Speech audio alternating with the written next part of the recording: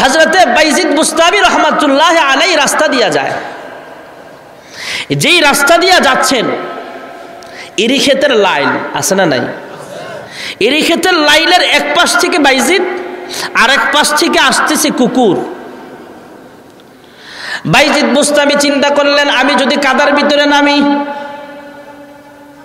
একটা মানুষ যেতে গেলে কুকুরটা আসতে পারবে না, কুকুর আসতে গেলে মানুষ যেতে পারবে না। এমন ছোট লাইল, এমন ছোট আইল এরি ক্ষেতের আইল। একজন এরি খেতে নাই, মা আরেকজনকে সাইড দিতে হবে। বাইজিদ বুস্তামি চিন্তা করলেন, আমাকে নামাজ পড়তে হবে, আমাকে নামাজ পড়তে হবে। আমি নিচে নামলে আমার কাপড়টা নষ্ট হয়ে যেতে পারে, আমার পাটা নোংরা হয়ে যেতে পারে। দেখি কুকুরটাকে নামানো যায় কিনা। কুকুরের জবান আল্লাহ খুলে দিলেন, কুকুরকে বললেন, কুকুর, তুমি নামো। আমি যেহেতু আশরাফুল মাখলুকাত কুকুর ডাক দেয়া বলে নামতে পারি। হে বাইজিদ, আপনার একটা শর্ত, একটা কথার জবাব আমাকে আপনি আগে দিতে হবে। বাইজিদ মুস্তাবি বললেন, কি প্রশ্ন বলো? কুকুর ডাক দেয়া বলে হ্যাঁ বাইজিদ, আপনি ভালো, আপনি শ্রেষ্ঠ নাকি আমি কুকুর শ্রেষ্ঠ? আমি কুকুর শ্রেষ্ঠ নামি নাকি আপনি শ্রেষ্ঠ? জুরুকন সুবহানাল্লাহ। কুকুর জিজ্ঞেস করতেছে, আমি শ্রেষ্ঠ নাকি আপনি শ্রেষ্ঠ? আগে জবাব দেন। বাইজিদ বুস্তামি চিন্তা করলেন যদি আমি বলি তুমি শ্রেষ্ঠ তাহলে আল্লাহর কোরআন মিথ্যা হয়ে যেতে পারে। আল্লাহ রাব্বুল আলামিন কোরআনুল কারীমে বলেন ওয়াত্তিনি ওয়াজ্জাইতুনি ওয়া তুরি সিনিনা ওয়া হাযাল বালাদিল আমিন। আল্লাহ রাব্বুল আলামিন কোরআনে আহসান বলেন আল্লাহ রব্বুল আলমিন মানুষকে সবচেয়ে সুন্দর করে বানাইছেন। আল্লাহ রব্বুল আলমিন মানুষকে সম্মানিত করেছেন। আল্লাহ রাব্বুল আলামিন, ওয়ালাকাদ কাররামনা বানি আদম। বনি আদমকে সবচেয়ে সম্মান বেশি দিয়েছেন। এখন যদি আমি বলি, হে কুকুর তুমি হলা শ্রেষ্ঠ। তাহলে আল্লাহর কোরআন তো বলে মানুষ শ্রেষ্ঠ, আল্লাহর কোরআনের দিকে মিথ্যা হয়ে যেতে পারে। তাই আবার যদি বলি, হে কুকুর, আমি শ্রেষ্ঠ।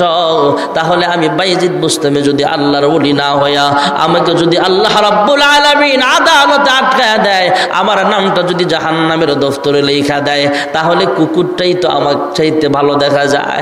আল্লাহর বলি বাইজিদ মুস্তামি রহমতুল্লাহ আলাই এবার জবাব দিলেন হ্যাঁ কুকুর, আমি যদি ইমানদার হয়ে মারা যায় বেইমান হয়ে যদি মারা যায় দুইটা ব্যব, দুইটার মধ্যে দুইটা পার্থক্য আছে।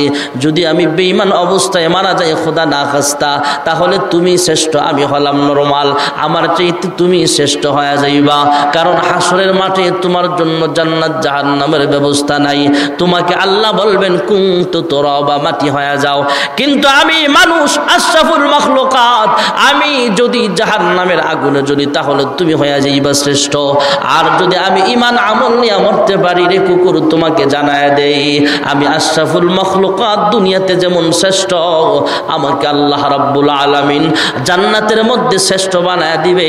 আমি যদি ইমান হালাতে মরতে পারি, তাহলে আমি আমি তোমার চাইতে হাজার গুণ বেশি শ্রেষ্ঠ জুরুকুন সুবহানাল্লাহ।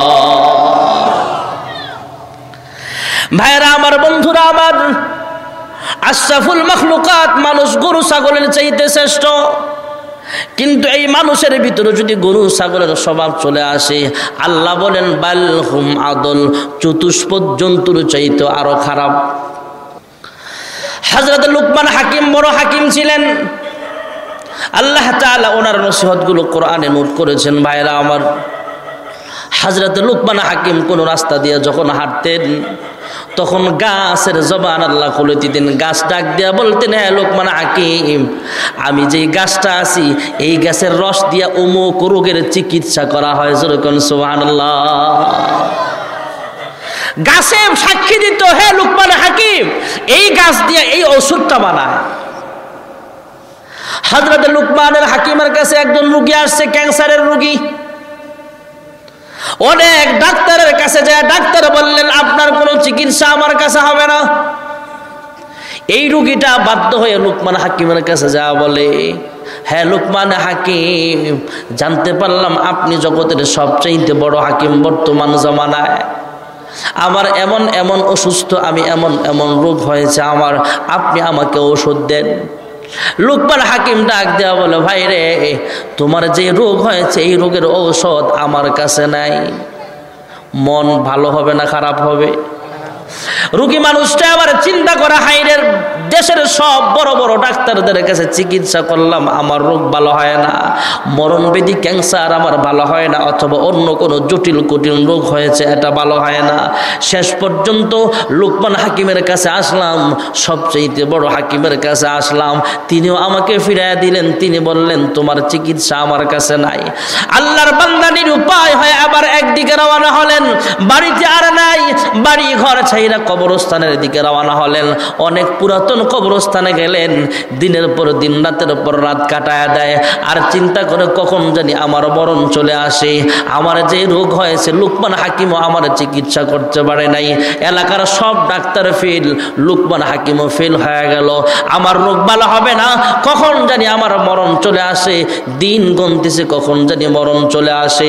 আল্লাহর বান্দা হঠাৎ করে তাকায় দেখলেন, অনেক ঝড়, বৃষ্টি আরম্ভ হয়ে গেছে। পুরাতন কবরস্থানের মধ্যে একটা মানুষের মাথার ঠোলা দেখা যায়।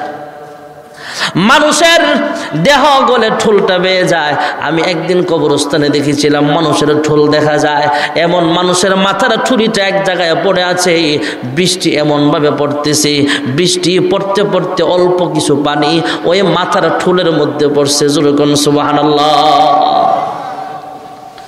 আল্লাহর বান্দা অসুস্থ ব্যক্তি পুরাতন কবরস্থানের পাশে দাঁড়ায় লক্ষ্য করলেন, মানুষের মাথার পুরাতন ঠুলের মধ্যে পানি জমছে। হঠাৎ করে তাকায় দেখলেন, দূর থেকে একটা বিষাক্ত সাপ আসতেছে। এই সাপ দৌড়ে আস্তে আস্তে আস্তে আস্তে ওই মাথার ঠুলির মধ্যে যে পানি আছে, সেখানে বিষ ছাড়ছে। আল্লাহর বান্দা টাকা দেখলেন বিষাক্ত সাপ যেহেতু মাথার টুলির মধ্যে বিষ ছাড়ছে, অতএব এই পানিটা বিষাক্ত হয়ে গেছে। আমি মৃত্যুর জন্য দিন প্রহর গুনতে আর ভালো লাগে না। বাড়ি ঘর ছাড়লাম, সব ছাড়লাম, কখন জানি আমার মরণ আসে বুঝতেছি না। তাড়াহুড়া করে এই লোকটা যায়া বিষাক্ত পানিটা পান করলেন মৃত্যুবরণ করার জন্য। এবার খেয়াল করে তাকায় দেখে এই বিষাক্ত পানি পান করার সাথে সাথে আল্লাহ তারা শরীরের সব রোগ আল্লাহ শিফা দান করে দিয়েছে। আল্লাহ কোথায় কার রোগের শিফা রাখছেন আল্লাহ ভালো জানেন।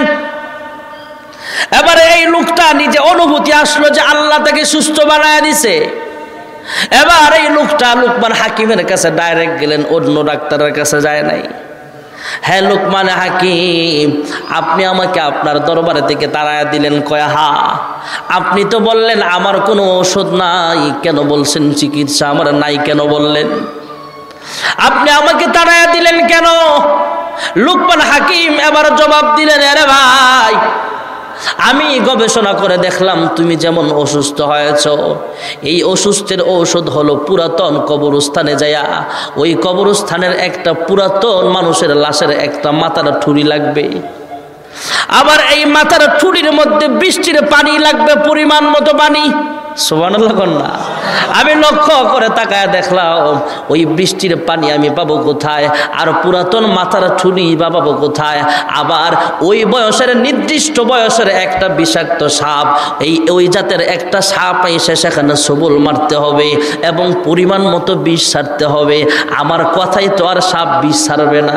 সোবান আমার কথাই তো আর ঠুরি পাওয়া যাবে না, বৃষ্টি আসবে না।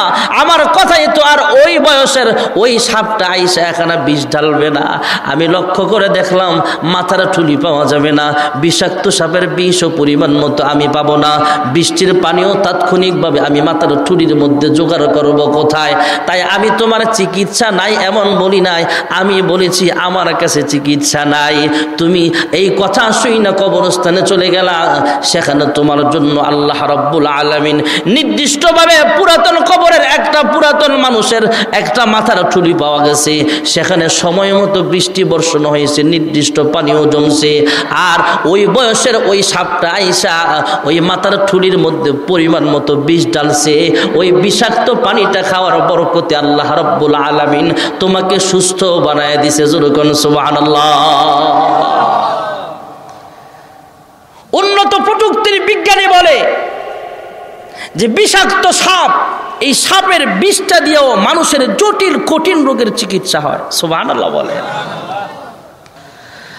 আল্লাহ রাব্বুল আলামিন আরেকজন ফিরিস্তার নাম হলো আজরাইল ফিরিস্তা। এই ফিরিস্তা সমস্ত মখলুকাতের জান কবজ করে। মানুষের জান কবজ করার দায়িত্ব হজরত আজরাইলের। গরু, ছাগলের জান কবজ করার দায়িত্বটাও জোরে বলেন কার? আর জোরে বলেন কার মহান আল্লাহ রব্বুল আলমিন আদম বানাবে। মাটি দ্বারা আদমের দেহটা বানাবে। আল্লাহ রব্বুল আলমিন ফিরিস্তা বানাইলেন। হ্যাঁ জিব্রাইল, যাও জমিন থেকে এক মুষ্টি মাটি নিয়ে আসবা। জমিনে আসলেন, মাটি নেবার জন্য। এই মাটি দ্বারা আল্লাহ রব্বুল আলমিন আদমের দেহ বানাবেন। মাটি থেকে মাটি না নিয়ে, জমিন থেকে মাটি না নিয়ে হজরতে জিব্রাহিম আমিন আল্লাহর কাছে ফিরিয়া চলে গেলেন। আল্লাহর কাছে ফিরে গেলে আল্লাহ জিজ্ঞেস করে, জিব্রাইল, মাটি কেন আনো নাই? আল্লাহ জমিনে যখন হাত রাখলাম মাটি হাউমাউ করে কানতে আরম্ভ করে দিল। মাটি ডাক দেয়া বলে হ্যাঁ জিব্রাহিল আমি জমিন থেকে আপনি মাটি নেবেন না, কয় কেন? এই মাটি দ্বারা আল্লাহ আদমের বডি বানাবে, দেহ বানাবে। আদম সন্তানদেরকেও আল্লাহ জমিনে পাঠাবে। এই আদম সন্তান আল্লাহর নাফরমানে যদি করে, তাহলে তাকে আল্লাহ জাহান্নামের আগুনে জ্বালাবে। আমি মাটি জাহান নামের আগুন সইতে পারব না। মাটির কান্না শুনে আজরাইলের মায়া লাগছে, তাই মাটি আনতে পারে নাই। আল্লাহ অন্য অন্য ফিরিস্তাদেরকেও পাঠাইলেন, কেউ মাটি আনতে পারে নাই। আল্লাহ রাব্বুল আলামিন এক পর্যায়ে আজরাইলকে পাঠায় দিলেন। আজরাইল যখন মাটিতে হাত রাখলেন, জমিন আগের মতো কান্নাকাটি আরম্ভ করে দিয়েছে। হ্যাঁ ভাই আজরাইল, আপনার আগে আরও ফিরিস্তারাও এসেছিল। এদেরকে যেমন ভাবে বলেছি, আপনাকেও বলতে চাই জাহান নামের আগুন আমি সইতে পারব না। আল্লাহ রাব্বুল আলামিন এই জমিনের মাটি দিয়ে আদমের দেহ বানাবে। এই আদম সন্তান জমিনে যায় যদি আল্লাহর আবাদত না করে, তাহলে আল্লাহ তাকে জাহান নামের আগুনে জ্বালাবে। আমি জাহান নামের আগুন সইতে পারব না। আমার থেকে আপনি মাটি নিবেন না। হজরত আজরাইল চিন্তা করলেন, আল্লাহ রাব্বুল আলামিন হুকুম করেছেন মাটি নেবার জন্য। আর জমিন কানতেছে তাই তার জন্য আমার মায়া লাগে। আজরাইল মাটির কান্না শোনার পর এক মুষ্টি মাটি নিয়ে আল্লাহর দরবারে উপস্থিত হয়ে গেলেন জুরকুন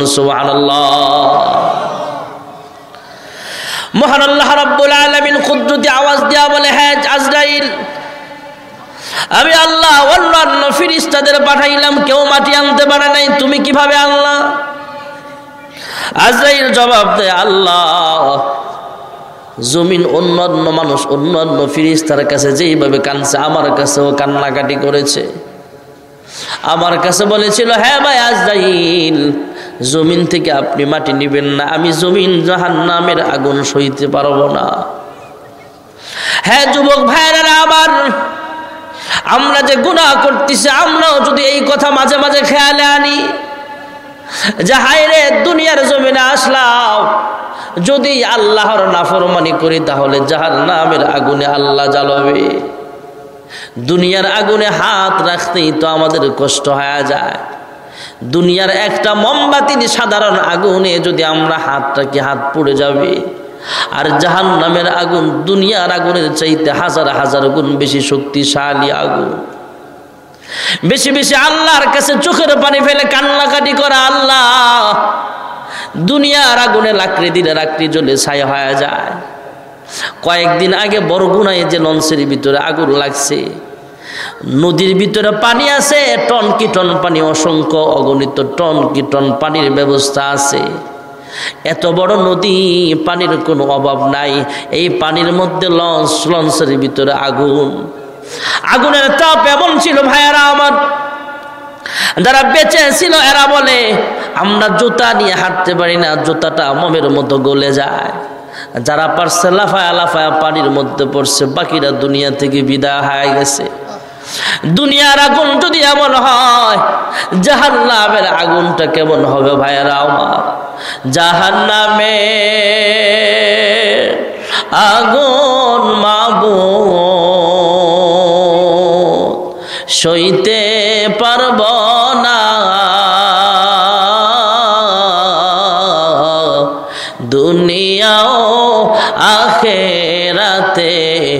আমাকে কাদায়ো না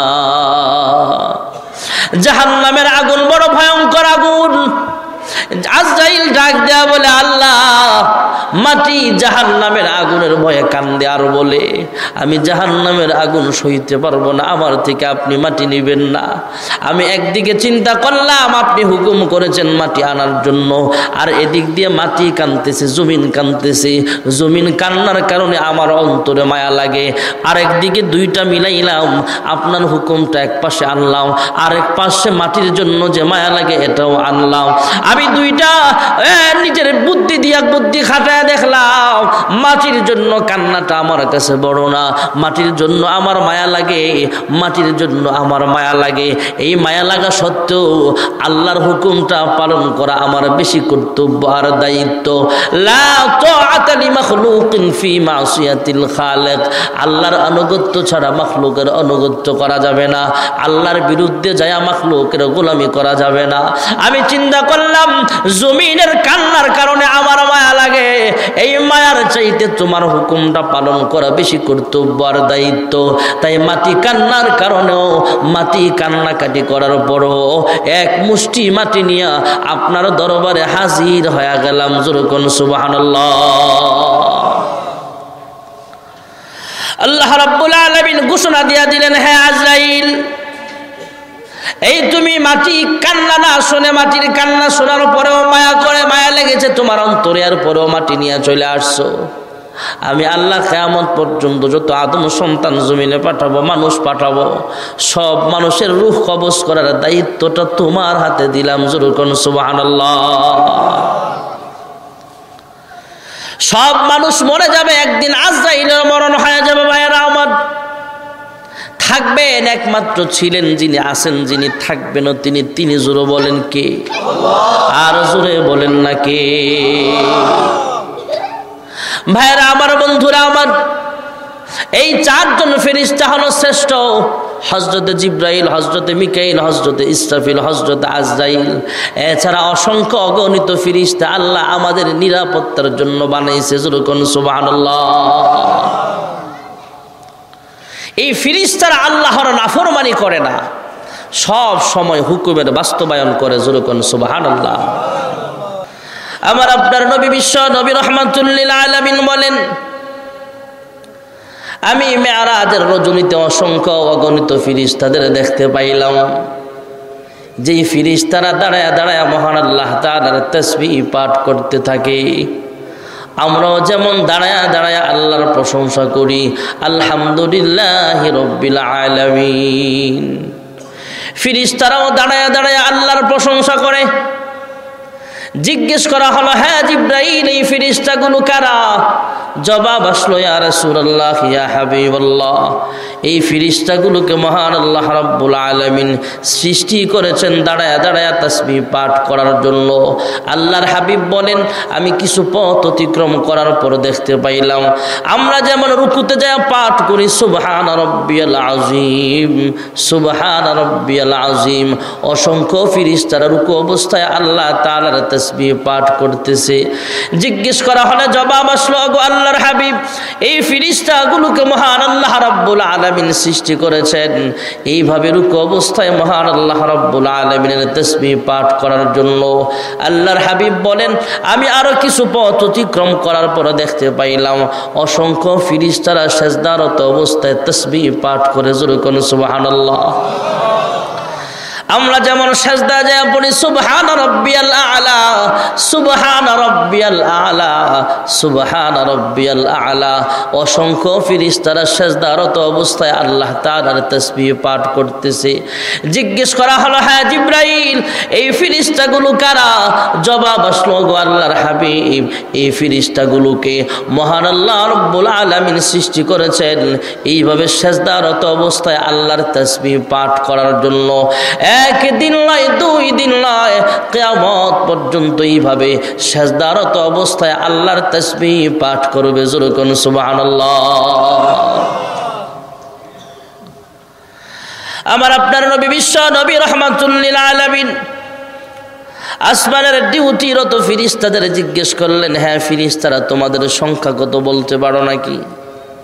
ফিরিস্তারা জবাব দেয়, ওগো আল্লাহর হাবিব ও বার এলাহির বন্ধু আমাদের ফিরিস্তাদের সংখ্যা কত আমরা বলতে পারবো না তবে আপনাকে একটু ধারণা দিতে পারি আইডিয়া দিতে পারি قال النبي صلى الله عليه وسلم فإذا هو يدخله كل يوم سبعون ألف ملك لا يعودون إليه أو كما قال عليه الصلاة والسلام ফিরিস্তারা জানায় দিলেন অগো আল্লাহর হাবিব, জমিনে যেমন একটা ঘর আছে খানায় কাবা, আল্লাহর দাওয়াতি মেহমানগণ, লব্বাইক আল্লাহুম্মা, লব্বাইক বলে বলে পৃথিবীর প্রান্ত থেকে বিভিন্ন জায়গা থেকে লাব্বাইক লাব্বাইক বলে বলে যেই ঘর তফ করার জন্য ছুটে চলে আসে, ওইটা হলো মানুষের কাবা।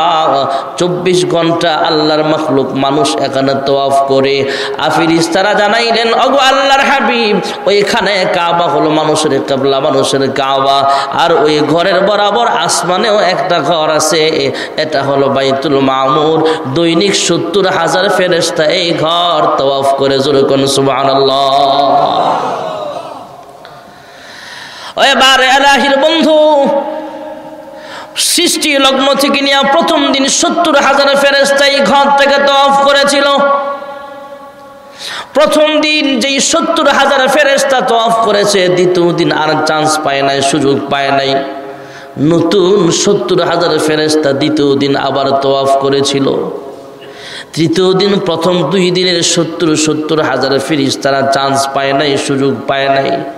নতুন করে সত্তর হাজার ফেরেস্তাই ঘরটাকে তফ করেছে, আবাদত করেছে, আমল করেছে।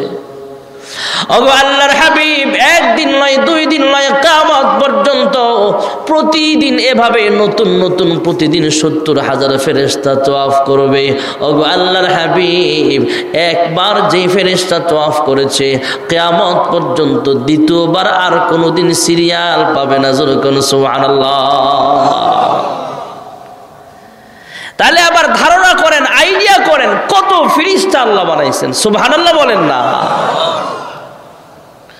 ফিরিস্তাদের মধ্যে সবচাইতে বড় ফিরিস্তা হলো হজরত জিব্রাইল। আমাদের বাংলাদেশের রাষ্ট্রপ্রধানের যেমন মন্ত্রণালয়ের দায়িত্বে মন্ত্রী আছে, শিক্ষামন্ত্রী আছে, পানি উন্নয়ন বোর্ডের আলাদা মন্ত্রী আছে, শিক্ষা মন্ত্রণালয় আইন মন্ত্রী আছে, শিক্ষামন্ত্রী আছে। এমন বিভিন্ন পদে পদে যেমন মন্ত্রী আছে আল্লাহ রব্বুল আলমিন এটা আমাদেরকে শিখিয়েছেন। আল্লাহর মন্ত্রণালয়ের মেন ফিরিস্তা মেন মন্ত্রী হলো চারজন। সোহান আল্লাহ বলেন। চারজনের চার রকম ডিউটি হজরতে জিব্রাইল আমিন হলেন শিক্ষামন্ত্রী। হজরতে জিব্রাইল আলাই সালাম হজরতে আদম আলাইহি সালাম থেকে শুরু করে নিয়া আমার আপনার নবী বিশ্ব নবী রহমতুল্লিল আলমিন পর্যন্ত সমস্ত নবীদের কাছে আগমন করেছেন।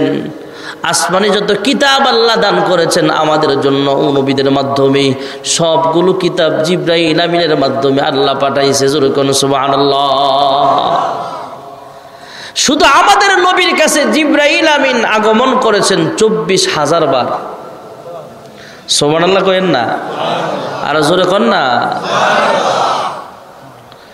হজরতে জিব্রাইল আমিনের ছয় শত ডানা আছে আল্লাহর হাবিব বলেন হজরতে জিব্রাইল আমিনকে আপন শুরুতে কয়েকবার দেখেছিলাম আমি عند سدرة المنتهى عندها جنة المأوى সিদরাতুল মুনতাহায় একবার জিব্রাইলকে আসল আকৃতিতে দেখেছিলাম। হাজরাতে জিব্রাইল আমিনের ছয় শত ডানা আছে, লাহু সিত্তমি আতি জানাহিন। পাখাগুলো ছড়ায় দিলে পুরা পৃথিবীটা একসাথে ঢেকে যাবে যেরকম সোহান হাজরতে জিব্রাইল আলাই সালামের এত শক্তি আল্লাহ দান করেছেন। ভাইয়েরা আমার বন্ধুরা, আমার আরেকজন ফিরিস্তা হল হজরত ইসরাফিল আলহিসালাম হজরতে ইসরাফিল আলহি সালাতামকে আল্লাহ রব্বুল আলমিন একটা বাসি দিয়া রাখছেন। এই বাসি নিয়ে বসে আছেন। আল্লাহ কখন জানি হুকুম করবেন বাসিতে ফুক দেওয়ার জন্য। কখন ফুক দিবেন কোন আল্লাহর পয়গম্বররাও জানে না। আল্লাহ রব্বুল আলমিন কাউকে জানাই নাই আল্লাহর সবচাইতে ক্লোজ ফ্রেন্ড মোহাম্মদুর রাসুল্লাহ সাল্লাহ আলাইসাল্লামও জানেন না কোন দিন কেমত হবে। একমাত্র আল্লাহর এলেমের ভিতরেই এটা আছে যেরকম সুবাহান ইসাফিলের ডিউটি হলো বাসি নিয়ে বসে আছে। আল্লাহ যখন হুকুম করবেন, তখন বাসিতে ফুক মারবেন। হাজরতে ইসাফিন আলাই সালামের বাসিটা এত বড় এত বড় ভাইয়েরা আমার। সাত আসমান, সাত জমিন পোটলা বানায় বাসির ছিদ্র দিয়া ঢুকানো যাবে। এই পাশ থেকে ওই পাশে যাবে, ওই পাশ থেকে এই পাশে আসবে। সাইডে লাগবে না যেরকম সুবাহ এত বিশাল বড় বাসি বিশাল বড় বাসি যেই ফিরিস তার ঠোঁটে লাগানো আছে। ওই ফেরেস্তার ঠোঁটটা তো আপনার, আমার ঠোঁটের চাইতে আরও ছোট হবে নাকি? না, অনেক বড়।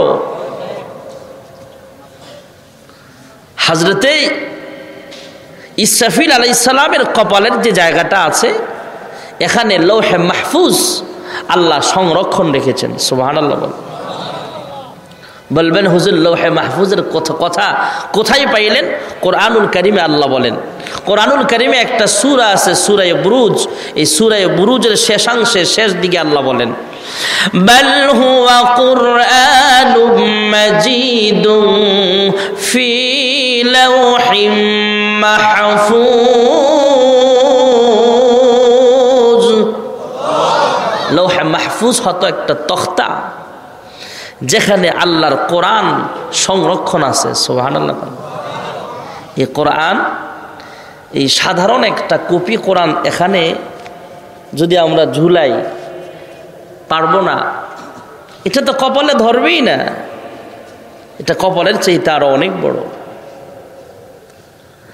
শুধু কোরআনুল কারিম লেখা আছে এমন নয় আল্লাহ রব্বুল আলমিন দুনিয়া সৃষ্টির হাজার হাজার বছর আগে আল্লাহ কলম লিখেছিলেন, কলম। আমাদের সাথেও কিন্তু কলম আছে। এটার নাম কি জোরে বলেন? আস্তে কোন কোন জোরে বলেন?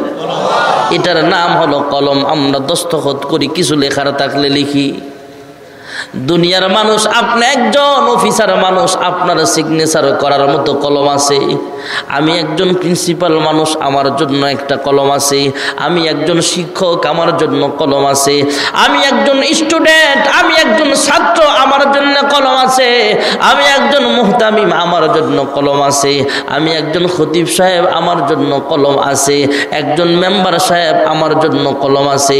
আমি একজন চেয়ারম্যান আমার জন্য যেমন কলম আছে। আমি মন্ত্রণালয়ের দায়িত্বে আছি, আমার জন্য একটা কলম আছে। আল্লাহ ডাক দিয়া বলে, ভাই বোনা শুধু তোমাদের কলম আছে, আমি আল্লাহ তালারও একটা কুদরতি কলম আছে জোরকন সোহান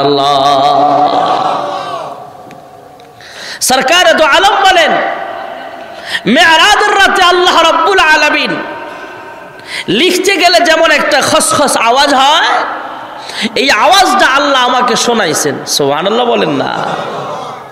বলবেন, হুজুর, তখন তো মানুষও সৃষ্টি হয় নাই। তখনকার কলমের আওয়াজ আল্লাহর নবীকে আল্লাহ কেমনে শোনাইলেন? নবীর যুগে তো টেপ রেকর্ডার ছিল না, মোবাইল ছিল না, অ্যান্ড্রয়েড সেট ছিল না। এই মোবাইল মানুষের ব্রেন খাটায়া বানাইছে। টেপ রেকর্ডার মানুষের ব্রেন খাটায়া বানাইছে। ভিডিও ক্যামেরা মানুষ ব্রেন খাটায়া বানাইছে। ব্রেনটা কে বানাইছে। আসতে কইতে, জোরে বলেন, কে বানাইছে? আজ থেকে পঞ্চাশ, ষাট বছর আগে বঙ্গবন্ধু শেখ মুজিবুর রহমান ভাষণ দিছিল। সেই ভাষণ এখনও আছে না নাই? যেই মেশিনটা দিয়ে রেকর্ড হয়েছে ভিডিও হয়েছে এটা বানাইছে মানুষ ব্রেন খাটায়া।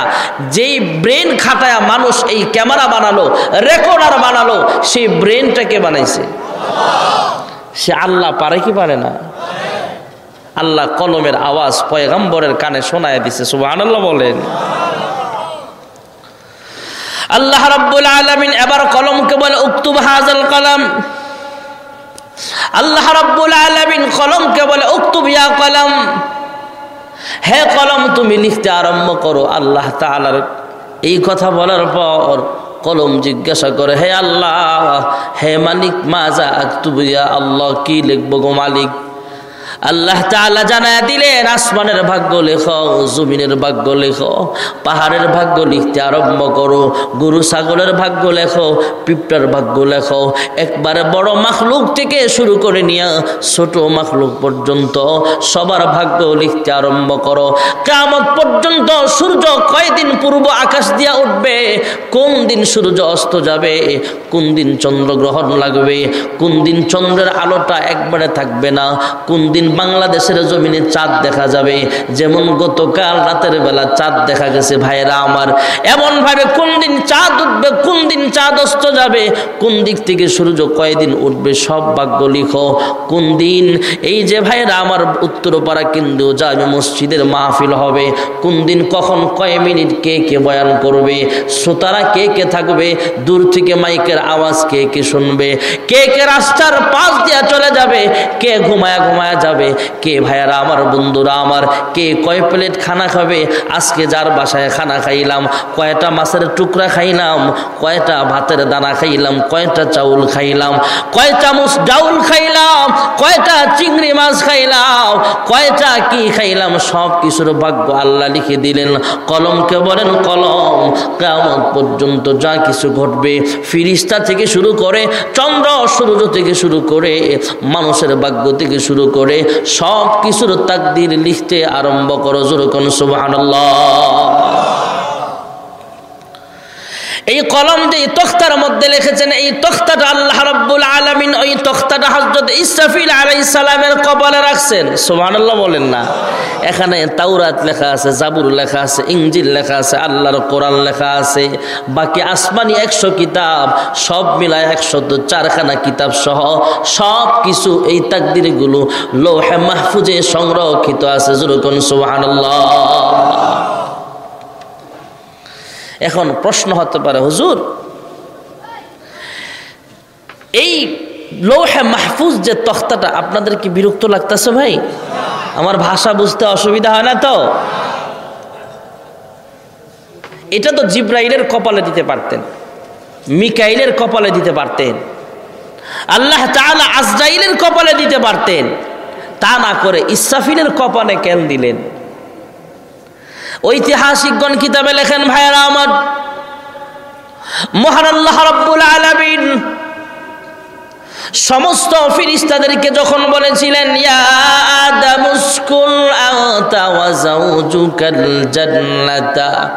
আদামুসকুল আতা ওয়া যাওজুকাল জান্নাতা وكلا منها رغدا حيث شئتما আল্লাহ আদম হাওয়াকে জান্নাতে বসবাস করতে বলেছিলেন সৃষ্টি করার পর এক পর্যায়ে আল্লাহ রাব্বুল আলামিন জান্নাতের ভিতরে সমস্ত ফিরিস্তাদেরকে বলেছিলেন তোমরা আদমকে সেজদা করো সুবহানাল্লাহ কন্যা তখন সর্বপ্রথম যেই ফিরিস্তা সেজদা করেছিলেন, তিনি হলেন হজরতে ইসরাফিল জোরকন সুবাহান আল্লাহ সংক্ষিপ্ত আকারে বলছি, ভাইয়ারা আমার হজরত ইসরাফিল আলাই সালামের দায়িত্ব হলো সিংহে নিয়ে বসে আছেন। এক পর্যায়ে মহান আল্লাহ রব্বুল আলমিন কামত যখন ঘটায় দিবেন, তখন বাসিতে ফুক মারতে বলবেন আল্লাহ রব্বুল আলমিন আরেকজন ফিরিস্তা বানাইছেন হজরতে মিকাইল আলাই সালাম। দায়িত্ব হলো বৃষ্টি, বর্ষণ সহ রিজিকের দায়িত্ব। খাদ্যমন্ত্রী সোবান আল্লাহ কন্যা আল্লাহর খাদ্যমন্ত্রী হলেন, আমাদের জন্য মন্ত্রী বানায় দিলেন হজরতে মিকাইল আলাই সালামকে সোবান আল্লাহ কন্যা এই যে বৃষ্টি হয়, দেখবেন পরশু দিন রাতের বেলা এক তারিখ ফেব্রুয়ারি মাসের এক তারিখে আমার প্রোগ্রাম ছিল সিলেটে। তো যাওয়ার পথে আমাদের প্রবীণ এক বক্তা, আমি ঢাকা শাহজালাল বিমানবন্দরে ডোমেস্টিকে ঢুকলাম। তো বোর্ডিং পাস নিয়ে বিমানে উঠতে ভিতরে যাব।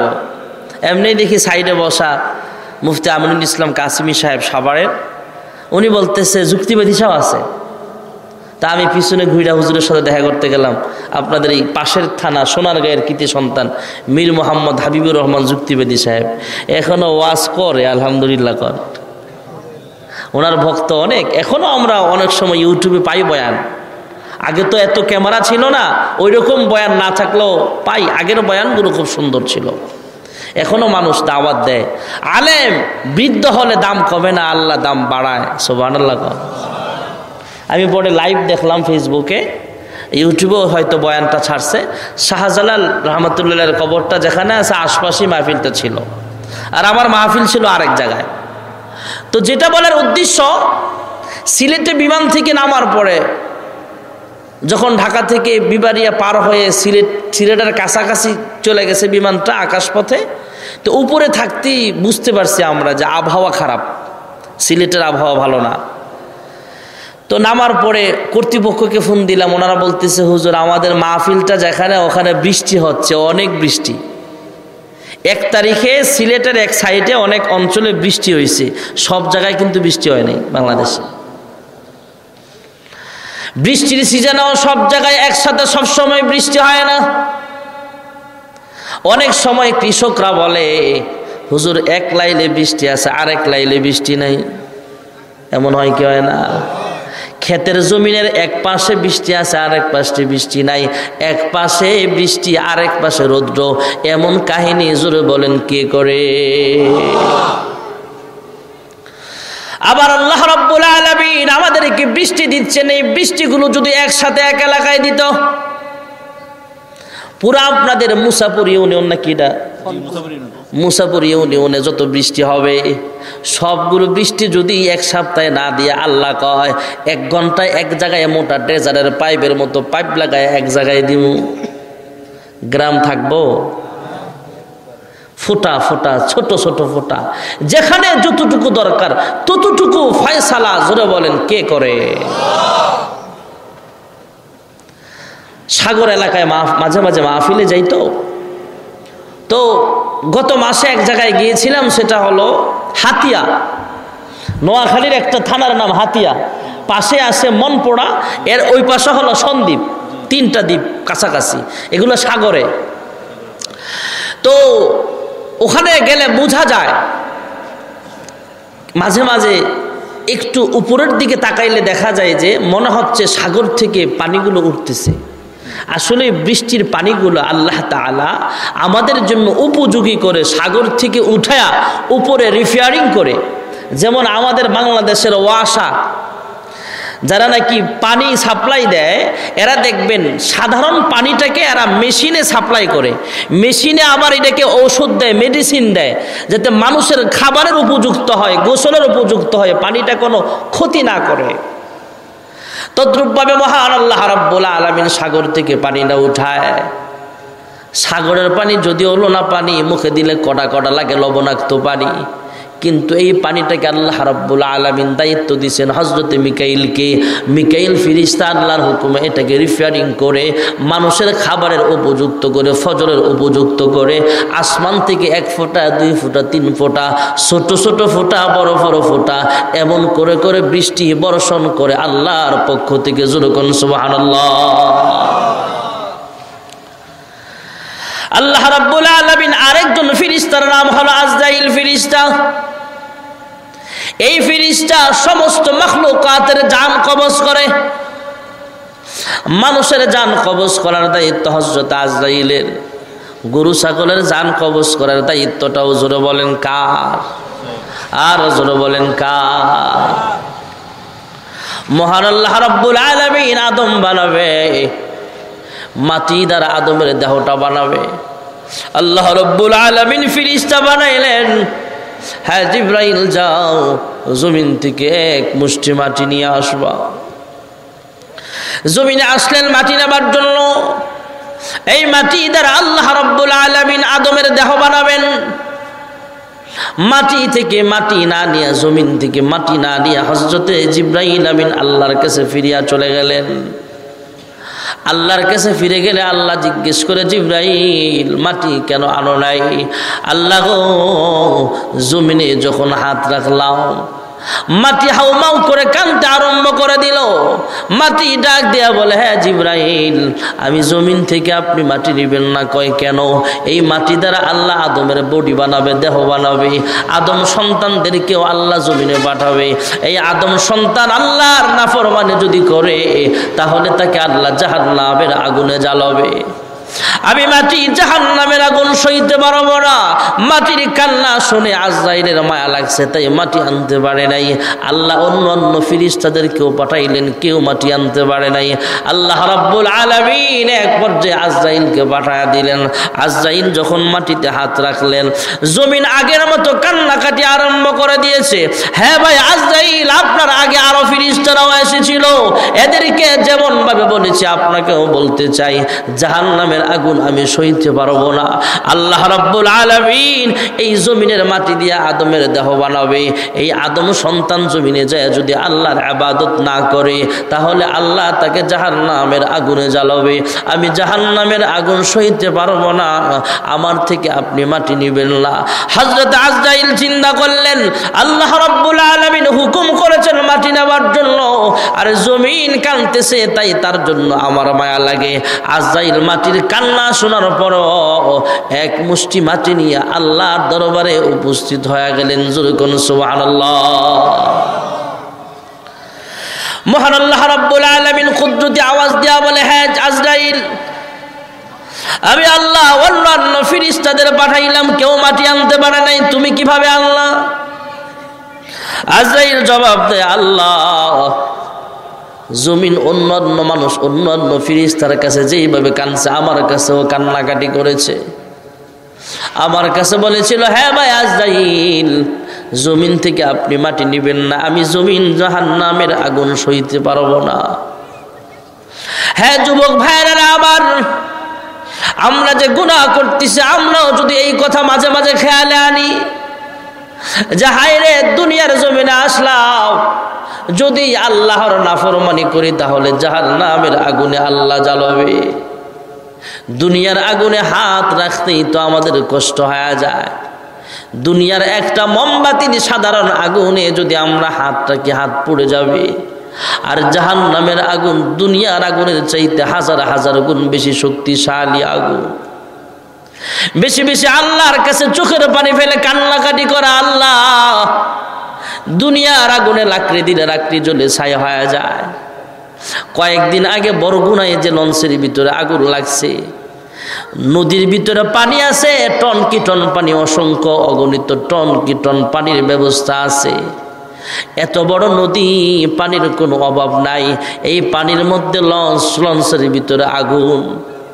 আগুনের তাপ এমন ছিল, ভাইয়ারা আমার। যারা বেঁচে ছিল, এরা বলে, আমরা জুতা নিয়ে হাঁটতে পারি না, জুতাটা মমের মতো গলে যায়। যারা পারছে লাফায়া লাফায়া পানির মধ্যে পড়ছে, বাকিরা দুনিয়া থেকে বিদায় হয়ে গেছে। দুনিয়ার আগুন যদি এমন হয় জাহান নামের আগুনটা কেমন হবে, ভাইয়েরা আমার? জাহান নামে আগুন মাবু সইতে পারব না। দুনিয়াও আখেরাতে আমাকে কাদায় না। জাহান্নামের আগুন বড় ভয়ঙ্কর আগুন আজরাইল ডাক দেয়া বলে আল্লাহ মাটি জাহান নামের আগুনের ভয়ে কান্দে আর বলে, আমি জাহান নামের আগুন সইতে পারব না, আমার থেকে আপনি মাটি নেবেন না। আমি একদিকে চিন্তা করলাম, আপনি হুকুম করেছেন মাটি আনার জন্য, আর এদিক দিয়ে মাটি কানতেছে, জমিন কানতেছে। জমিন কান্নার কারণে আমার অন্তরে মায়া লাগে। আরেকদিকে দুইটা মিলাইলাম, আপনার হুকুমটা এক পাশে আনলাম, আরেক পাশে মাটির জন্য যে মায়া লাগে এটাও আনলাম। আমি দুইটা নিজের বুদ্ধি দিয়া বুদ্ধি খাটায় দেখলাম, মাটির জন্য কান্নাটা আমার কাছে বড় না। মাটির জন্য আমার মায়া লাগে, মাটির জন্য আমার মায়া লাগে। এই মায়া লাগা সত্ত্বেও আল্লাহর হুকুমটা পালন করা আমার বেশি কর্তব্য আর দায়িত্ব। আল্লাহর আনুগত্য ছাড়া মাখলুকের আনুগত্য করা যাবে না। আল্লাহর বিরুদ্ধে যায় মাখলুকের গোলামি করা যাবে না। আমি চিন্তা করলাম, জমিনের কান্নার কারণে আমার মায়া লাগে। এই মায়ার চাইতে তোমার হুকুমটা পালন করা বেশি কর্তব্য আর দায়িত্ব। তাই মাটি কান্নার কারণেও মাটি কান্নাকাটি করার পরও এক মুষ্টি মাটি নিয়ে আপনার দরবারে হাজির হয়ে গেলাম। যেরকম সুবহানাল্লাহ। আল্লাহ রাব্বুল আলামিন ঘোষণা দিয়া দিলেন হ্যাঁ আজরাইল এই তুমি মাটি কান্না না শোনে মাটির কান্না শোনার পরেও মায়া করে মায়া লেগেছে তোমার অন্তরে, আর পরেও মাটি নিয়ে চলে আসছো। আমি আল্লাহ কেয়ামত পর্যন্ত যত আদম সন্তান জমিনে পাঠাবো, মানুষ পাঠাবো, সব মানুষের রুখ কবজ করার দায়িত্বটা তোমার হাতে দিলাম জরুর সুবহানাল্লাহ। সব মানুষ মরে যাবে, একদিন আজরাইলের মরণ হয়ে যাবে ভাইয়েরা আমার। থাকবেন, একমাত্র ছিলেন যিনি, আছেন যিনি, থাকবেন তিনি। তিনি জোরে বলেন কে? আর জোরে বলেন না কে? ভাইয়েরা, আমার বন্ধুরা, আমার এই চারজন ফেরিস্তা হলো শ্রেষ্ঠ। হজরতে জিব্রাইল হজরতে মিকাইল হজরতে ইসরাফিল হজরতে আজরাইল। এছাড়া অসংখ্য অগণিত ফিরিস্তা আল্লাহ আমাদের নিরাপত্তার জন্য বানাইছে যেরকম সুবহানাল্লাহ। এই ফিরিস্তারা আল্লাহর নাফরমানি করে না। সব সময় হুকুমের বাস্তবায়ন করে যেরকম সুবহানাল্লাহ। গরু অন্যের জমিনের ফসল খাইলে যে মজা লাগে, এটা বুঝে। কৃষক বেচারা গরুর মালিক আমাদের কুমিল্লার ভাষায় বলে গৃহস্থ। এই গৃহস্থ বেচারা গরুটা যেই জমিনে ধান নাই ধান খেতওয়ালা জমি চাষাবাদ যে করে, এই জমিনওয়ালা ধান কেটে নিয়ে গেছে, খালি জমিন। অল্প অল্প অল্প অল্প ঘাস আছে। এই জমিনে খোটা কাটছে রশি বাইদা খোটা দিছে। গরুটারে বাইন্দা রাখে আসে না নাই? যাতে পাশের জমিনে যে ধান গাছ আছে, এগুলা খাইতে না পারে। এখন গরু মনে মনে কয়, আমার মালিকটা আমার খুব ভালো জানে না।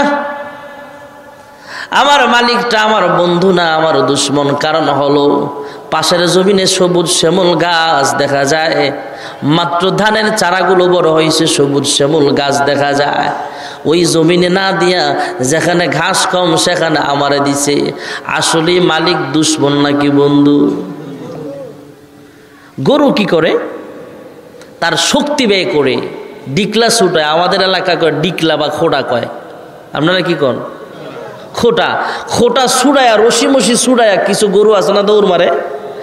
দৌড় মাইরা, ছাগলটাও দৌড় মাইরা ডিকলা সুড়ায়া খোটা সুড়ায়া মাঝে মাঝে আমরা একসময় গরু পালতো, ছোট সময়। তো ছাগলও ছিল আমাদের, বকরিও ছিল। গ্রামের মানুষ তো আমি একসময় পালতো আমাদের বাড়িতেও এগুলা। তো ভাইয়েরা আমার, দেখতাম যে ছাগল নাই, খোড়া আছে, রশিও আছে। তার মানে জোরে টান মারছে, হিসকা টান ছিঁড়ে গেছে। এমন আছে না নাই? টান মাইরে যে অন্যের জমিনের ফসল খাইতে গেল, আবার ফসলওয়ালায় খেয়াল রাখে যে গরু ছাগল যেহেতু মাঠে চড়াই দিছে মানুষ, দেখি আমার জমিনের ফসলটা নিয়ে আবার কে খায় লায় গরু ছাগলে। এমন খেয়াল রাখার মতো মানুষ আছে না নাই? যখন দেখছে তার ক্ষেতের মধ্যে গরুটা ঢুকছে, তখন ফোলা ফোলাফন্ডে ডাক দিয়ে লাঠি লয়ে দৌড় দে।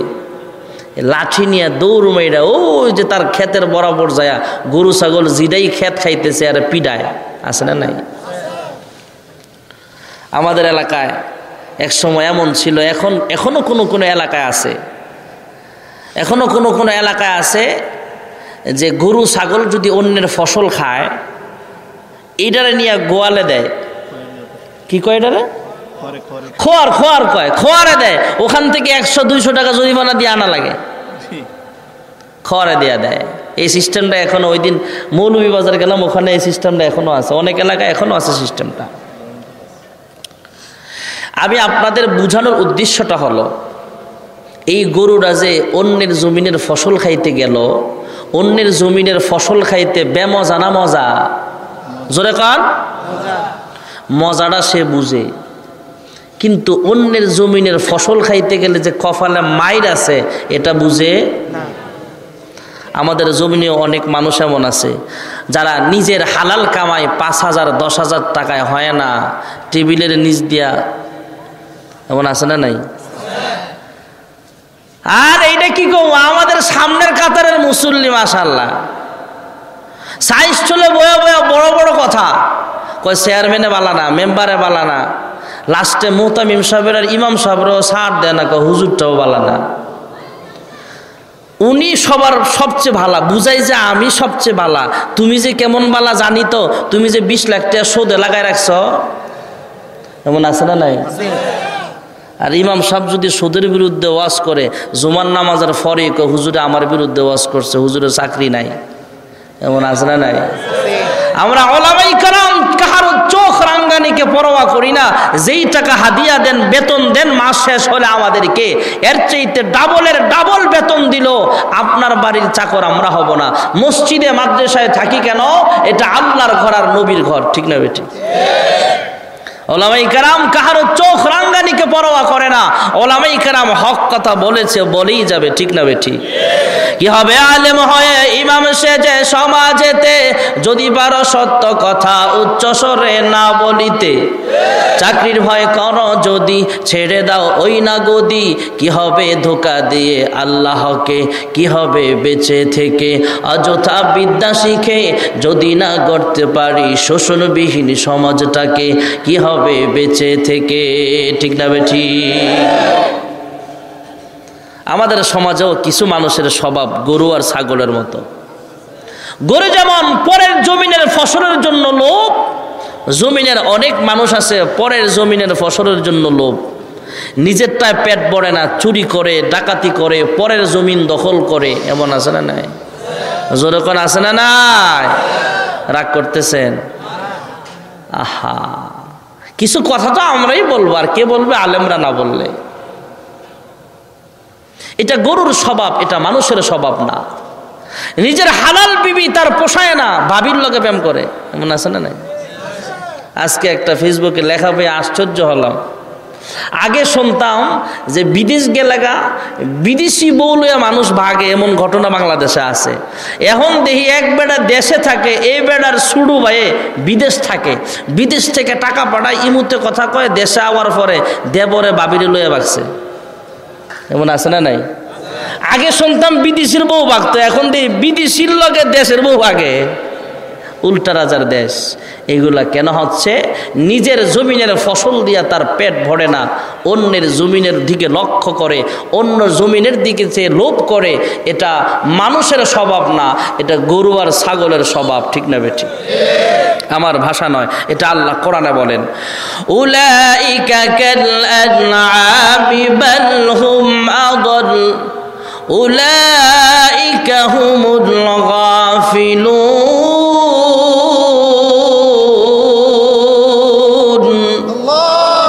মোহাব্বতে জোরে আল্লাহ আকবার। আর কিছুক্ষণ থাকলে অসুবিধা হবে না তো আপনাদের? তাহলে প্রথম নাম্বারের ফিরিজটা হলো। এক নম্বরের মাখলুকাত যেটার কথা বলেছিলাম, যারা গুনাহের মজা বুঝে না, কিন্তু গুনাহের সাজা বুঝে।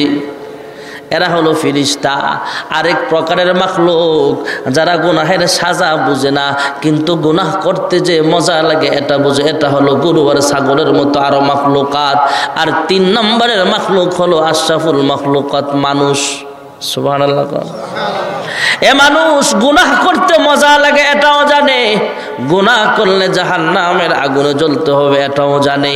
এই মানুষ যখন গুনাহের সামনে চলে আসে, কোনো গুনাহের কাজ যখন সামনে চলে আসবে, এই মানুষটা যখন ফিরিস্তার মতো চিন্তা করবে, ফিরিস্তার গুণ সামনে আইনা যখন সে চিন্তা ভাবনা করবে, আরে জাহান নামের আগুনে আমার জ্বলতে হবে, আল্লাহর কাঠ করায় দাঁড়ায় একদিন আল্লাহর আদালতে আমার জবাব দিতে হবে।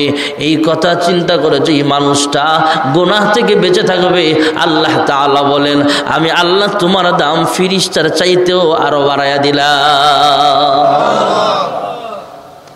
আল্লাহ মানুষের দাম সবচেয়ে বাড়ায় দিছে সুবাহান আল্লাহ কন্যা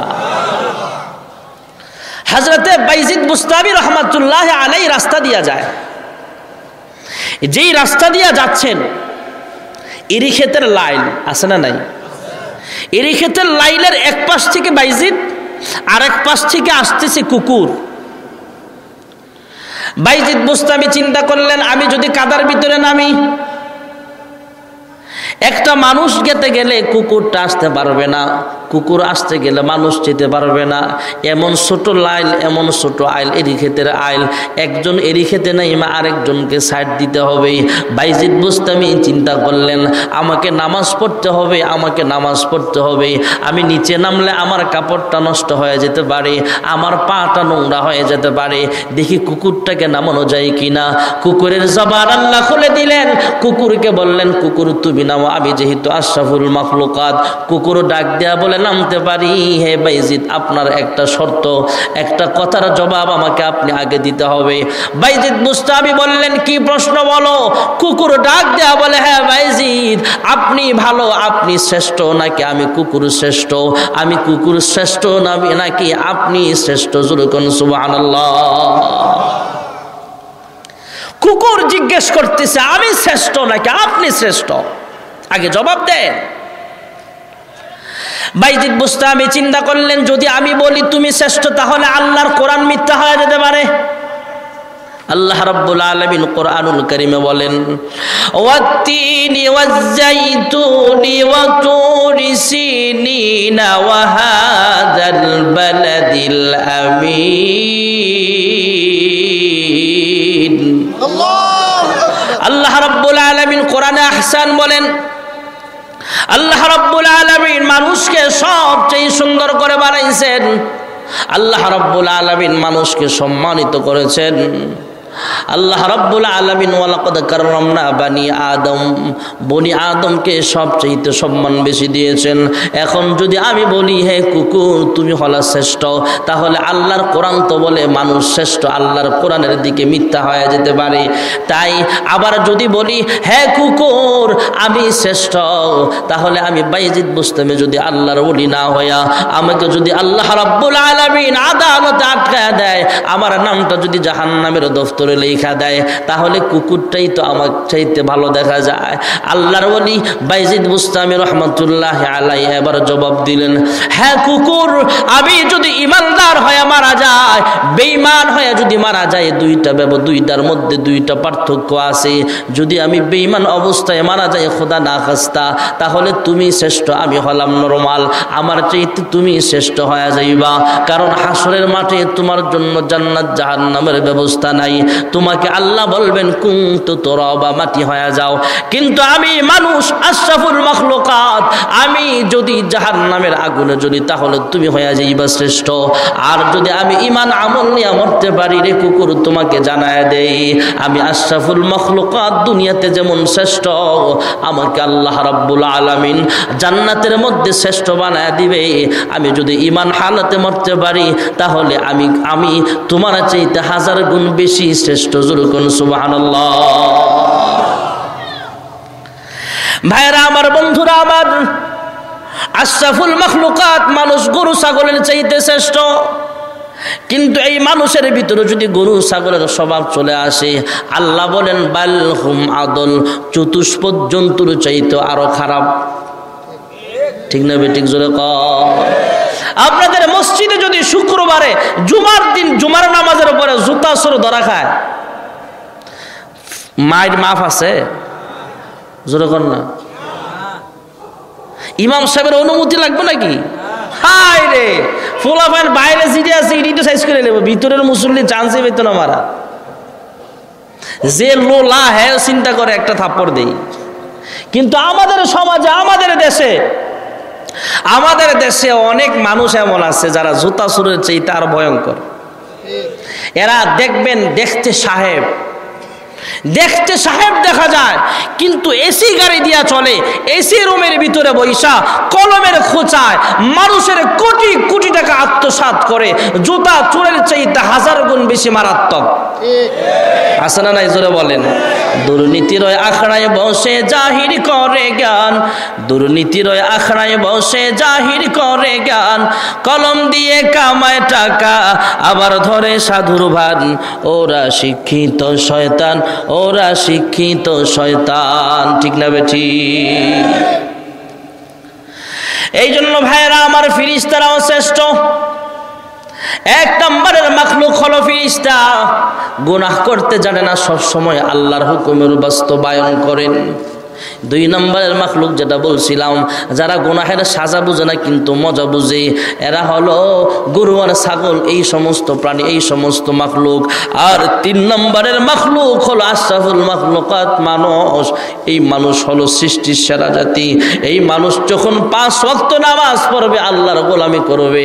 আল্লাহ বলেন, আমি আল্লাহ যেমন সম্মান দিয়ে তোমাদেরকে বানাইছি, আদর করে বানাইছি, আমি আল্লাহ তোমাকে বিনা হিসাবে আমার জান্নাতের মেহমান বানায় দিব।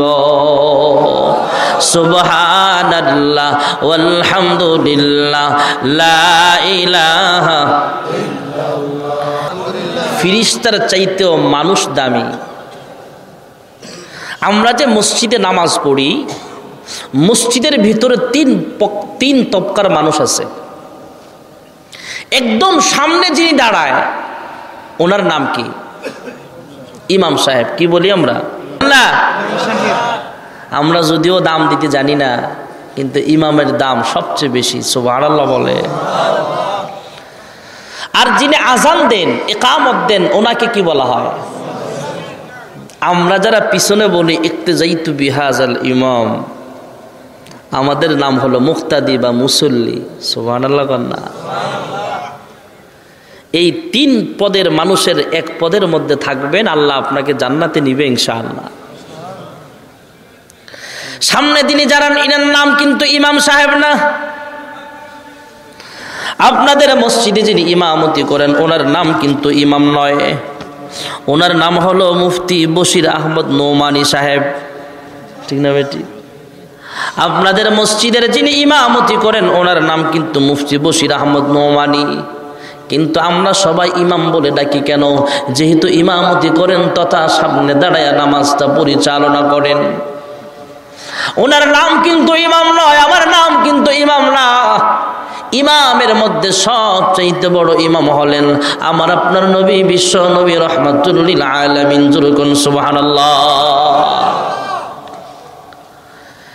আমার আপনার নবী সরকার দো আলম রহমতুল্লিল আলমিন।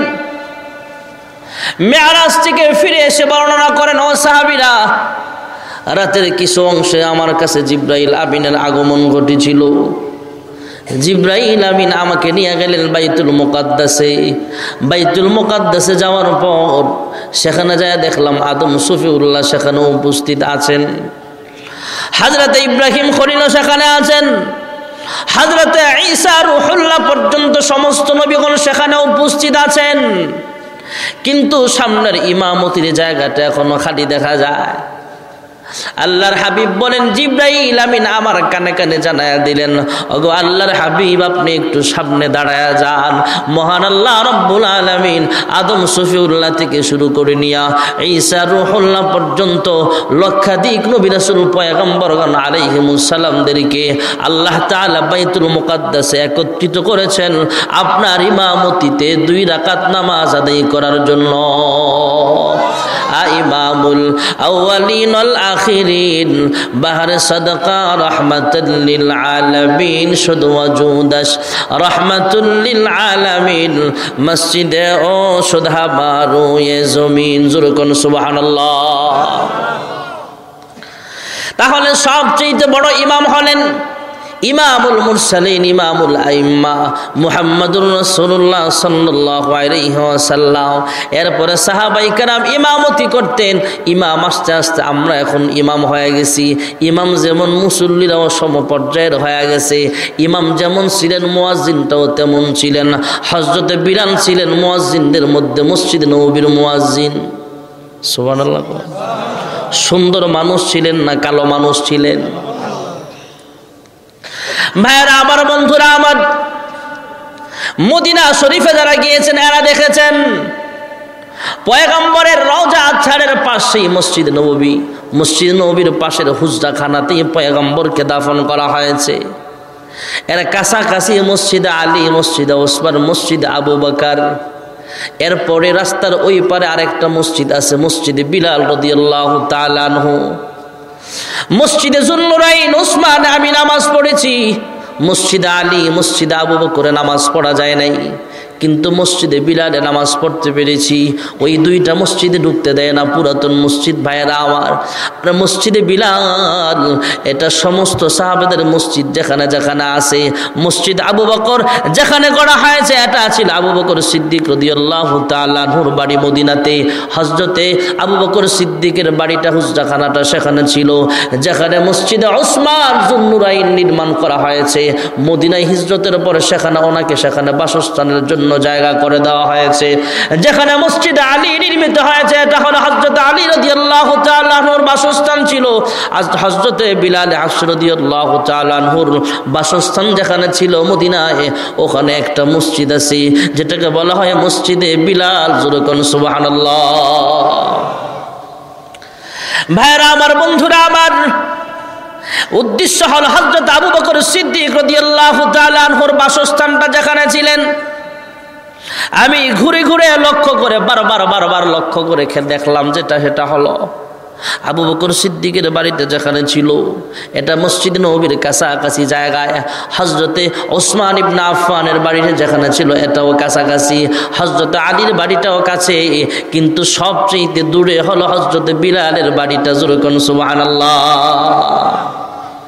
চার সাহাবির চাইতে হজরত আবু বকর হজরত ওসমান হজরত আলী হজরত অমর মসজিদে অমরও আছে সেখানে। এই সবগুলো মসজিদের চাইতে হজরত বিলালের মসজিদ যেটা, মসজিদে বিলাল রদি আল্লাহ আনহু, ওই মসজিদটা সবার দূরে। ওখান থেকে মসজিদে বিলাল, মসজিদে বিলালের হজরাখানা, তথা ওখান থেকে হজরত বিলাল আইসা মসজিদে নবমীতে আজান দিতেন, জোরে কোন সুবাহ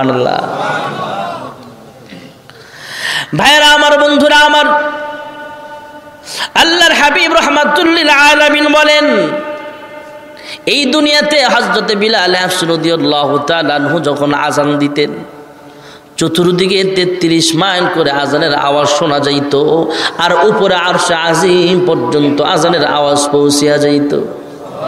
সোবান আল্লাহ জোরে ক একদিন সাহাবাই কেরাম মিলে পয়গম্বরের কাছে আইসা বলো গো আল্লাহর হাবিব মোয়াজদিনটা একটু পাল্টাইলে ভালো হয়। অনেকবার বলার পরে আল্লাহর হাবিব ঈশ্বরের নামাজের পর বিলালকে বলে, বিলাল, ফজরের ওক্ত থেকে নতুন মোয়াজিন আজান দিবে, তোমার চাকরি শেষ। বিলালের মনে কষ্ট আছে না নাই? আমাদের দেশের নিয়মটাও এমন হয়ে গেছে। এটা তো আল্লাহর হাবিব ইচ্ছে করে করে নাই। সবার, সব সাহাবিরা চাইতেছে এটা, অধিকাংশ সাহাবিরা। আইসে এসে বলে, ইয়া রাসুলাল্লাহ, বিলাল গোলাম জাদা গোলাম, এর আসাদু আল্লাহ বলতেও তার কষ্ট হয় জিব্বাটা নষ্ট হয়ে গেছে। ওগো আল্লাহর হাবিব, এখন তো সুরেলা কণ্ঠে বহু মোয়াজিন আছে, আপনি একটু মোয়াজিনটা পাল্টাইলে ভালো হয়। আল্লাহর হাবিব বিলালকে বললেন, বিলাল, ফজরের নামাজ থেকে তোমার আর আজান দিতে হবে না, নতুন একজন মোয়াজিন সুরেলা কণ্ঠে আজান দিবে। সোহান আল্লাহ কন। ভালো আইডিয়া। আর আমাদের সমাজের চিত্রটা হলো যদি কোনো একটা মসজিদ খালি হয় মোটামুটি গ্রামের ভিতরে শহর বাদ দেন একদম গ্রামের একটা কেন্দ্রীয় মসজিদে যদি হয় তখন আশপাশের দশ বারো জন ইমাম সাহ দশ বারো জন মুহতামিম বড় বড় মাপের আলেম আইনা ইন্টারভিউ লয় ইমামের আছে না নাই? হুজুরা বলেন? আবার অনেক মসজিদে আছে হুজুরগর ডাক দেয় না এরা নিজেরা কমিটির মানুষ বইয়ে ইন্টারভিউ লয়। এক মসজিদে গেছে ইমাম সাহেব ইন্টারভিউ দেওয়ার লেগা। তো মসজিদ কমিটির লোক বৈশা জিজ্ঞেস করে, হুজুর, আপনাকে আমরা কয়েকটা প্রশ্ন করব। করেন। কয়, হুজুর, কেয়ামতের আলামতের মধ্যে একটা আলামত বলেন। কেয়ামতের আলামতের মধ্যে একটা আলামত হইল, মূর্খ ব্যক্তিরা আলেমদের ইন্টারভিউ নিবে। ঠিক না ঠিক জোরে এই জন্য হুজুর করে ইন্টারভিউ লইতে যায় না। আপনারা যদি উল্টা কয় সুরে ফাতেহাটা কন, আপনার দাঁত ভাঙবো। এমন আছে না নাই? যেটা বলা উদ্দেশ্য সেটা হলো, আমরা অনেক প্রায় মসজিদে দশ বারো জন আলেম, বিচারক মণ্ডলী আইনা, তিরিশ জন, চল্লিশ জন আলেমের ভিতরে ইন্টারভিউ নিয়ে যাকে এক নম্বর হয়, তাকে আমরা ইমাম রাখি। এই এলাকাতে এমন আছে না নাই? ওই দিনকে অনলাইনে দেখলাম কে জানি লেখছে। হাফেজ হতে হবে, বিবাহিত হতে হবে, মুফতি সাহেব হতে হবে। সার্কুলার দিছে মসজিদের ইমাম ও খতিব নিবে। কিন্তু বেতন কত হবে সেটা লেখে নাই। ওইটা লেখে আলোচনা সাপেক্ষে। একজন মানুষ আবার লেখে বক্তাও হতে হবে, ভালো সুরেলা কণ্ঠে বিষয়ভিত্তিক বয়ানও করতে হবে। আবার চাই ইমাম ও খতিব। আর যদি বিষয়ভিত্তিক আলোচনা যে করতে পারে মানে বিষয়ভিত্তিক আলোচনা সব খতিবরাই করে। যারা মাঠ পর্যায়ের বক্তা, এরা যদি আপনার মসজিদে ইমাম ও খতিব হিসাবে আসে, মাহফিলের সিজনের অনেকটা ছুটিও দেওয়া লাগে। আমার বাস্তব, তিক্ত অভিজ্ঞতা থেকে বলছি, আমি বহু বছর ইমামতি করছি। এখন তিন বছর ধরে খতিবগিরি করি। যখন ইন্টারভিউ দিতে যায়, আমার জুমায় বয়ান শুইরা মুসল্লিরা কয়, হুজুর, আপনি যা শর্ত দিবেন, সব আমরা মানি। এমনও মসজিদ গেছে যেখানে বলছি, আমি সারা বৎসর একদিনও আপনার কাছ থেকে আমি ছুটি নেব না। আমি আপনার কাছ থেকে ছুটি নেবে কেন? আমি কোথাও গেলে মোয়াজিন্দে বলে যাব। কহজুর এই শর্তও মানলাম। একটা মসজিদ পাইছিলাম এমন, দুই বছর ছিলাম। যে হুজুর, এই খেয়াল করেন, এলাকায় যারা মুসল্লি আছেন, এমন শর্ত দিছি কমিটিকে যে আমি আপনার এখানে ইমাম ও খতিব ঠিক আছি। তবে আমি জুমা মিস করব না ইনশাআল্লাহ। পাঞ্জেগানার নামাজের সময় জুমা ছাড়া যদি কোথাও যাই, আপনার কাছ থেকে আমি ছুটি নেব না। আপনার পাশে বৈশা, একসাথে বৈশা যদি খানাও খাই, কোথাও যাওয়ার আগে, এরপরেও ছুটি নিতাম না। এই শর্ত হইলে রাখেন, নাইলে বাদ। পরে রাখছে, আলহামদুলিল্লাহ দুই বছর ছিলাম, ওই শর্ত অনুযায়ী ছিলাম। এই শর্ত ভঙ্গ হচ্ছে চলে আসছি। রাখার সময় হুজুর, আপনার বয়ানে আমরা অনেক মুগ্ধ হয়ে গেছি। আপনি ছুটি কাটায়েন, অসুবিধা নাই। মোয়াজিন কোন দিনের লেগা? মোয়াজিন নামাজ পড়বে, আপনি না গেলে গেলে অসুবিধা কি হুজুর? কোনো অসুবিধা নাই। কিন্তু মাহফিলের সিজন যখন আয়ে, কয়েকটা মাহফিলে গেলে কমিটির মাথা গরম। ক হুজুর, ছুটি নিছেন কার কাছে? এমন আছে না নাই? কমিটি হইলেই এত মেজাজ গরম করবেন না। যেটা বলে আমার উদ্দেশ্য সেটা হলো আপনি যে দশজন বিচারক মণ্ডলী দিয়ে একজন আলেম ইমাম হিসেবে নিয়োগ করলেন, হঠাৎ করে একদিন আপনার সাথে দ্বন্দ্ব হয়েছে, আপনি একাই হুজুরের বিদায় করে দিচ্ছেন তখন দশজন আলেমের সাথে পরামর্শ করছেননি। কথা বুঝেন নাই। দশজন বিচারক মণ্ডলী আলেম বন্দর থানার বড় বড় আলেম ডাইকা আপনি বিচারক মণ্ডলী দিয়ে ইন্টারভিউ নিয়া বিশ জন, তিরিশ জন আলেমের ভিতরে এক নম্বর যিনি হয়েছে, তারা ইমাম হিসাবে রাখছেন। যখন বিদায় করবেন, তখন এই দশজনকে কেন ডাকলেন না? কেন ওনাকে বিদায় করছেন? অনেক জায়গায় বেহুদা হুজুরে সুদের বিরুদ্ধে ওয়াজ করছে কেন? হুজুরে নাস্তিকদের বিরুদ্ধে বয়ান করছে কেন? হুজুরে ঘুষের বিরুদ্ধে কেন বয়ান করল? হুজুরে দুর্নীতির বিরুদ্ধে কেন বয়ান করল? হুজুরের চাকরি শেষ। অধিকাংশ জায়গায় এমন হয়। ঠিক না বেটিক জোরে বলেন? আপনি হাসনের মাঠে কি জবাব দিবেন? আপনি মসজিদ কমিটির সভাপতি হয়েছেন, মসজিদ কমিটির সেক্রেটারি হয়েছেন। কেশিয়ার হয়েছেন দেখে কি হয়েছে? আপনার সেক্রেটারি, আপনার সভাপতি, আপনার মোতাবল্লি এই মসজিদে চলবে। এখানে যারা আছেন মন খারাপ করবেন না। যারা করতেছে তাদের কথা বলতেছি। আপনার মোতাবল্লি আপনার সভাপতি, আপনার সেক্রেটারি অন্য মসজিদে চলবে না। আর আমার ইমামতি পুরা ওয়ার্ল্ডে যে কোনো মসজিদে চলবে। ঠিক না বেঠিক জোরে বলে। আমি যেখানে যাব, সেখানে ইমামতি করতে পারব। আর আপনি যে বেড়াগিরি দেহান সভাপতি হইয়া ইমাম সবের লোকে যা তা ব্যবহার করেন, আপনার সভাপতি এই সীমানা ফার হইয়া ফাঁসের মহল্লাতে চলতো না। ঠিক না বেটিক জোরে কর এই জন্য অহংকার করবেন না, আপনি সভাপতি, কেশিয়ার আর সেক্রেটারি মোতাবল্লি হয়েছেন, আপনাকেও একদিন হাসরের মাঠে জবাব দিতে হবে, ঠিক না বেটি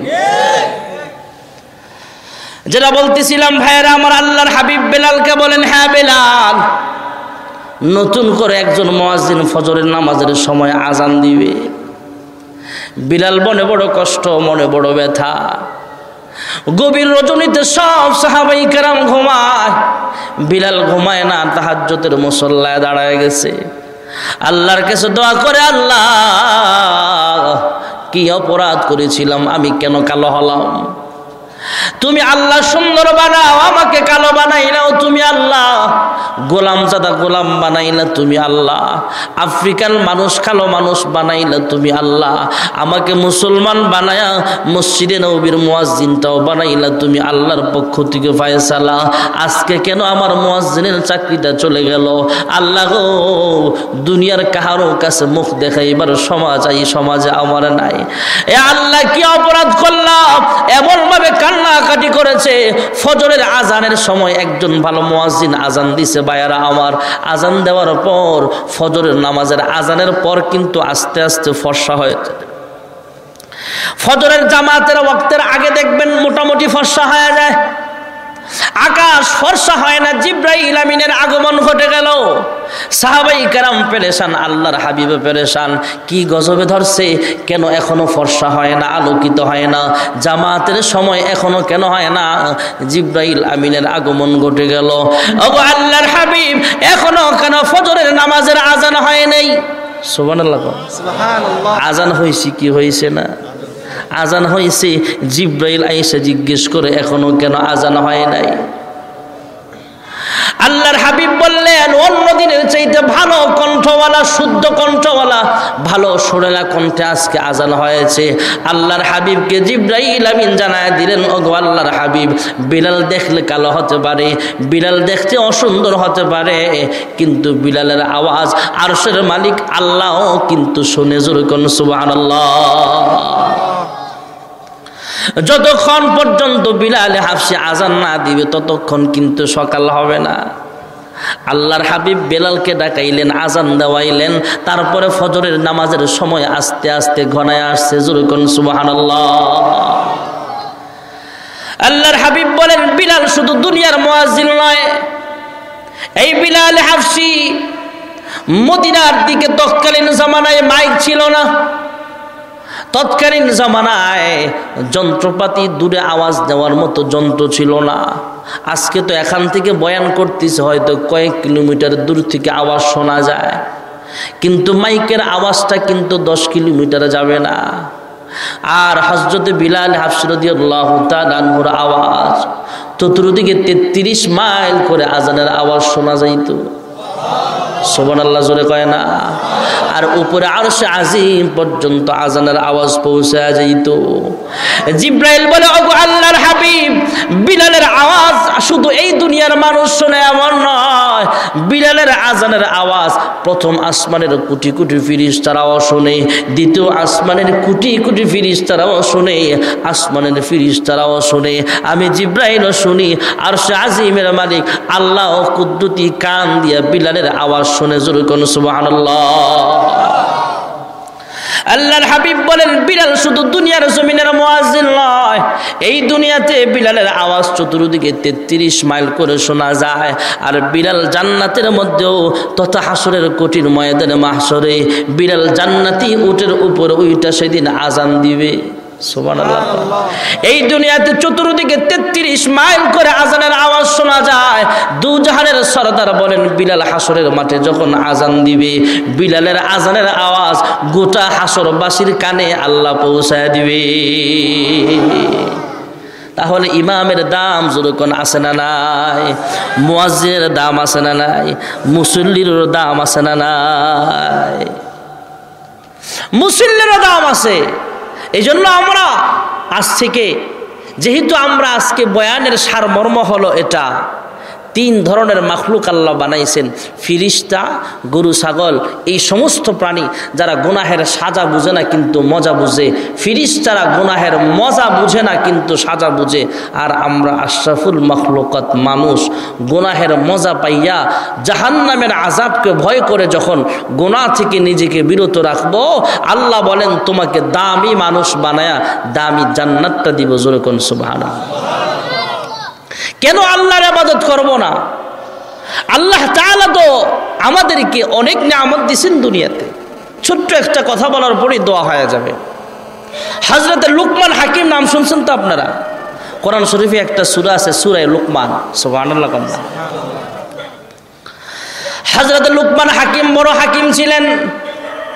আল্লাহ তাআলা ওনার নসিহতগুলো কোরআনে নোট করেছেন। ভাইরা আমার হাজরত লুকমান হাকিম কোন রাস্তা দিয়ে যখন হাঁটতেন, তখন গাছের জবান আল্লাহ খুলে দিতেন। গাছ ডাক দিয়া বলতেন হ্যাঁ লোকমান হাকিম, আমি যেই গাছটা আছি, এই গাছের রস দিয়া অমুক রোগের চিকিৎসা করা হয়। যেরকম সোহান গাছে সাক্ষী দিত হে লুকমান হাকিম, এই গাছ দিয়া এই ওষুধটা বানায়। হজরত লুকমানের হাকিমের কাছে একজন রুগী আসছে, ক্যান্সারের রুগী।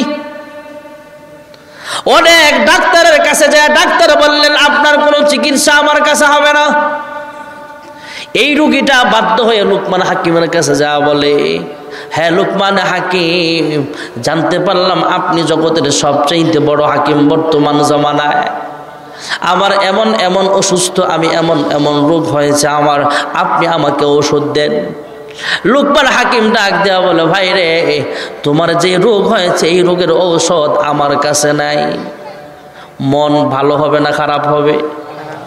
রুগী মানুষটা আবার চিন্তা করে, হাইরের দেশের সব বড় বড় ডাক্তারদের কাছে চিকিৎসা করলাম, আমার রোগ ভালো হয় না, মরণবেদি ক্যান্সার আমার ভালো হয় না, অথবা অন্য কোনো জটিল কঠিন রোগ হয়েছে, এটা ভালো হয় না। শেষ পর্যন্ত লুকমান হাকিমের কাছে আসলাম সবচেয়ে বড় হাকিমের কাছে আসলাম, তিনিও আমাকে ফিরাইয়া দিলেন, তিনি বললেন, তোমার চিকিৎসা আমার কাছে নাই। আল্লাহর বান্দানির উপায় হয় আবার একদিকে রওনা হলেন, বাড়িতে আর নাই বাড়ি ঘর ছাইরা কবরস্থানের দিকে রওনা হলেন। অনেক পুরাতন কবরস্থানে গেলেন। দিনের পর দিন, রাতের পর রাত কাটায় দেয়। আর চিন্তা করে কখন জানি আমার মরণ চলে আসে। আমার যে রোগ হয়েছে, লুকমান হাকিমও আমার চিকিৎসা করতে পারে নাই। এলাকার সব ডাক্তার ফেল, লুকমান হাকিমও ফেল হয়ে গেল। আমার রোগ ভালো হবে না, কখন জানি আমার মরণ চলে আসে। দিন গন্তিছে, কখন জানি মরণ চলে আসে। আল্লাহর বান্দা হঠাৎ করে তাকায় দেখলেন, অনেক ঝড় বৃষ্টি আরম্ভ হয়ে গেছে। পুরাতন কবরস্থানের মধ্যে একটা মানুষের মাথার ঠোলা দেখা যায়। মানুষের দেহ গলে ঠোলটা বেয়ে যায়। আমি একদিন কবরস্থানে দেখেছিলাম মানুষের ঠোল দেখা যায়। এমন মানুষের মাথার ঠুরিটা এক জায়গায় পড়ে আছে। বৃষ্টি এমনভাবে পড়তেছে। বৃষ্টি পড়তে পড়তে অল্প কিছু পানি ওই মাথার ঠোলের মধ্যে পড়ছে। জুরকন সুবাহান আল্লাহর বান্দা অসুস্থ ব্যক্তি পুরাতন কবরস্থানের পাশে দাঁড়ায় লক্ষ্য করলেন, মানুষের মাথার পুরাতন ঠুলের মধ্যে পানি জমছে। হঠাৎ করে তাকায় দেখলেন, দূর থেকে একটা বিষাক্ত সাপ আসতেছে।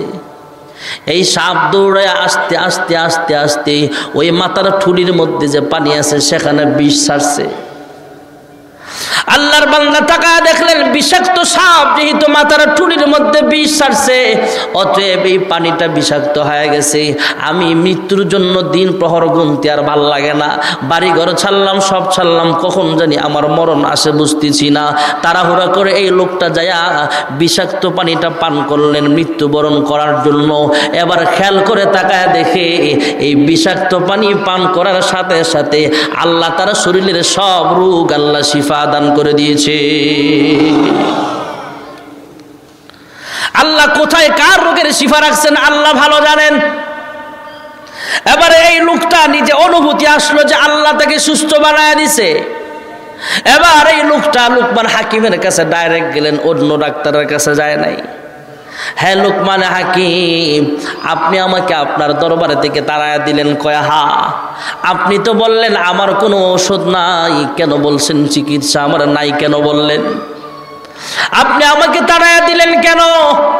লুকমান হাকিম এবার জবাব দিলেন, আরে ভাই আমি গবেষণা করে দেখলাম তুমি যেমন অসুস্থ হয়েছ, এই অসুস্থের ঔষধ হলো পুরাতন কবরস্থানে যায়া ওই কবরস্থানের একটা পুরাতন মানুষের লাশের একটা মাথার ঠুরি লাগবে। আবার এই মাথার ঠুরির মধ্যে বৃষ্টির পানি লাগবে, পরিমাণ মতো পানি।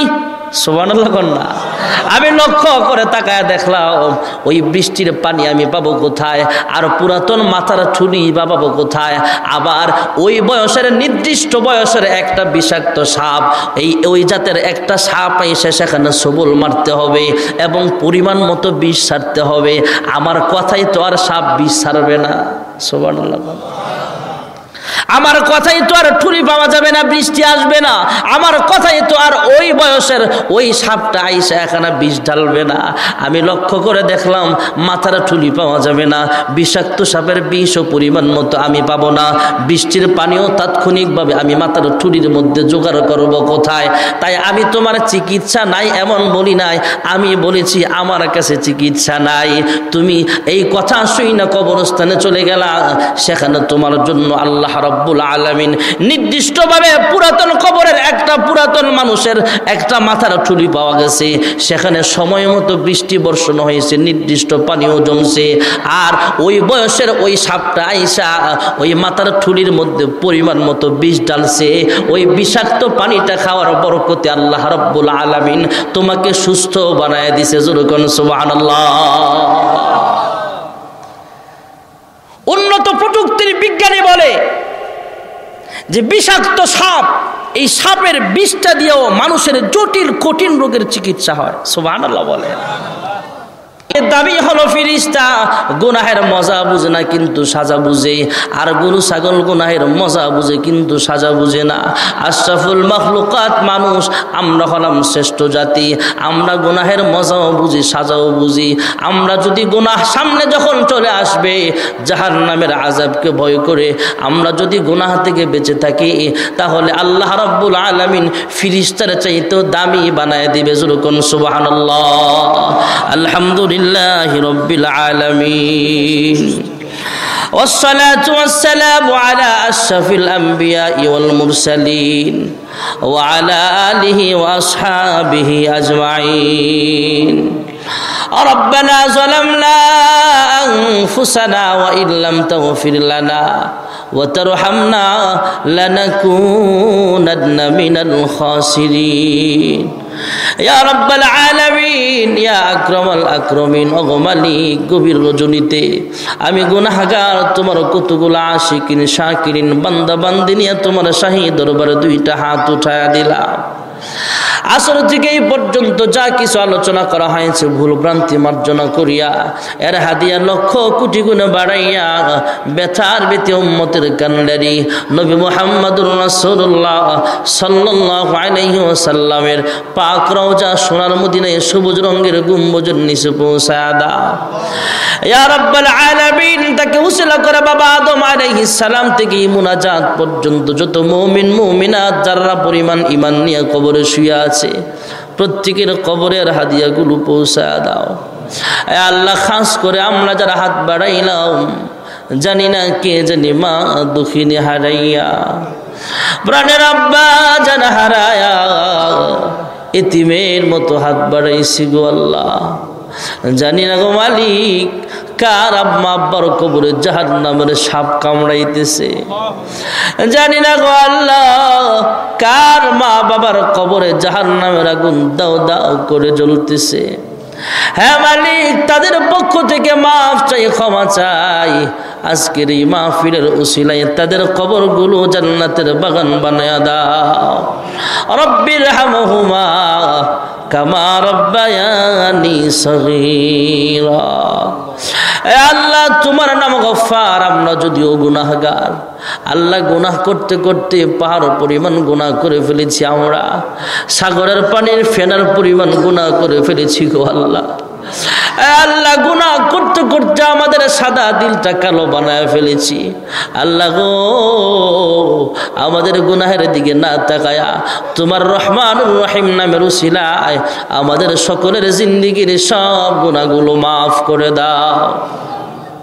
আদর রিয়া মানুষ বানায়া কেমনে দিবা জাহান্নামে ফেলিয়া? গুনার বোঝা মাথায় লয়া, আমরা দেশ বিদেশে ঘুরি। কোন দিন জানি আজরাইলের হাতে ধরা পড়ি।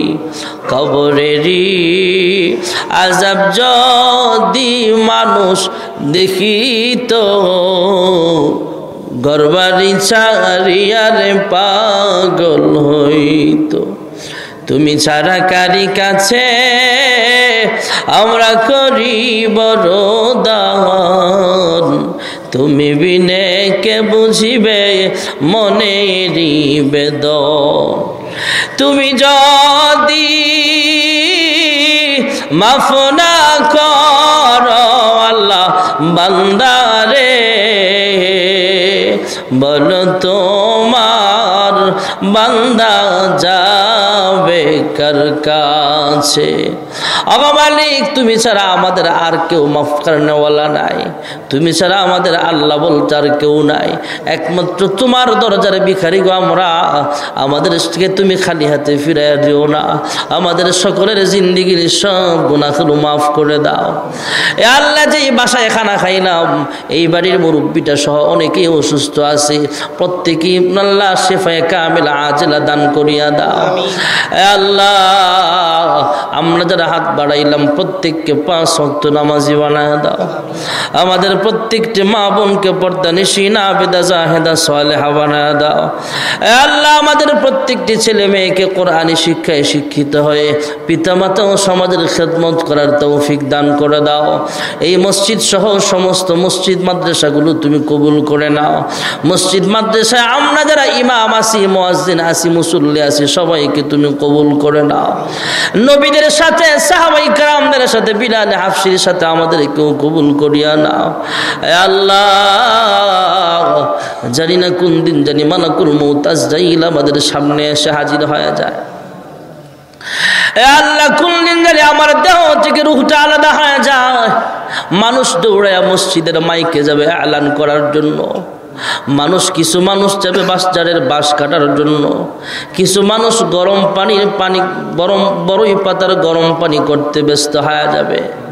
কিছু মানুষ দৌড়ায় যাবে কবরস্থানে কবর খনন করার জন্য। আর কয়েকজন মিলে বাজারে যাবে আমার কাপড়ের কাপড়টা কেনার জন্য। আল্লাহ জীবনে কত গোসল করলাম। আল্লাহ নিজের গোসলটা নিজে করলাম, সাবান দিয়ে টলে পরিষ্কার করলাম। এমন একদিন সময় চলে আসবে যেদিন নিজের শরীরের ময়লাটা নিজে পরিষ্কার করতে পারব না। আল্লাহ নিজে কত রকমের সাবান দিলাম।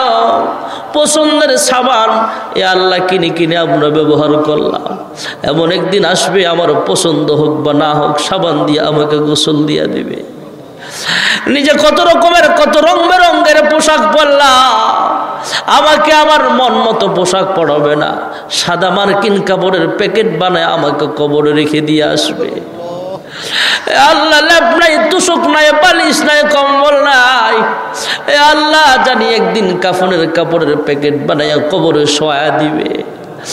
আল্লাহ, কবরে যাবার আগে কবরের সামান তৈরি করার তৌফিক সকলকে নসিব করে দাও।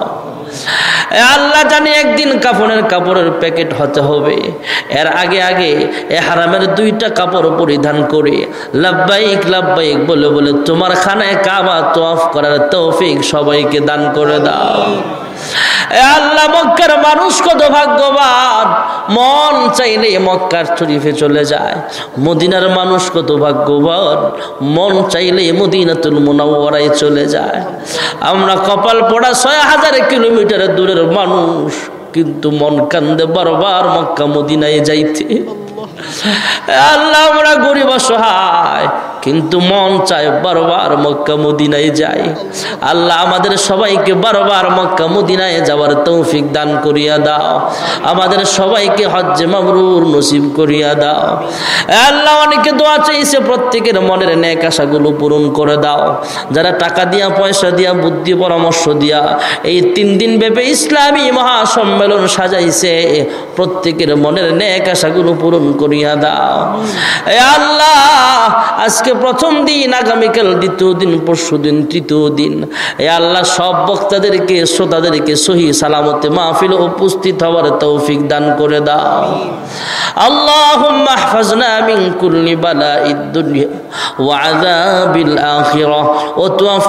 মুসলিমা ওয়া আলহিকনা বিসসালিহিন। সুবহান রাব্বিকা রাব্বিল ইজ্জাতি আম্মা ইয়াসিফুন والحمد لله رب العالمين. وارحمنا معهم برحمتك يا أرحم الراحمين. السلام عليكم ورحمة الله.